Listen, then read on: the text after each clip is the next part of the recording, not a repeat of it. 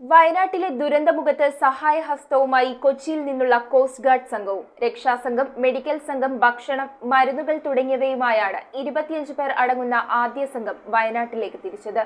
വയനാട്ടിലെ മുണ്ടക്കൈ ദുരന്ത മേഖലയിൽ രക്ഷാദൌത്യവും സഹായനങ്ങളുമായി കൊച്ചിയിൽ നിന്ന് തീരരക്ഷാസേന തിരിച്ചു. രക്ഷാസംഘം മെഡിക്കൽ സംഘം ഭക്ഷണം മരുന്നുകൾ തുടങ്ങിയവയുമായാണ് ആദ്യ സംഘം തിരിച്ചത്. സുരക്ഷയ്ക്കായി റബ്ബർ ബോട്ടുകൾ ലൈഫ് ജാക്കറ്റ് റെയിൻകോട്ട് സുരക്ഷാ ഉപകരണങ്ങൾ എന്നിവയുമായാണ് ഇരുപത്തിയഞ്ചംഗ തീരരക്ഷാസേനാ സംഘം പുറപ്പെട്ടത്. News bureau Kochi.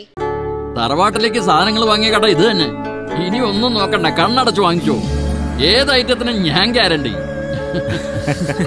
ചേന്നാട് തലമുറകൾ കൈമാറുന്ന വിശ്വാസം. Chennad electricals Thoppumpady Cochin five